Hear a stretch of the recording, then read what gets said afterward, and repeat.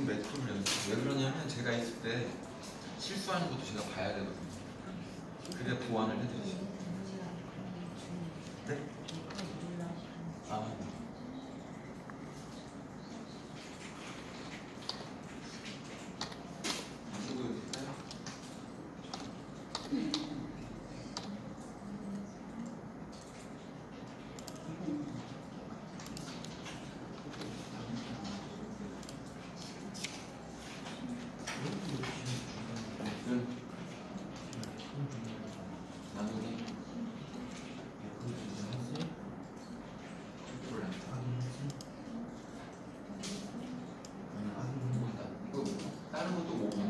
건데요. 공기 받으시고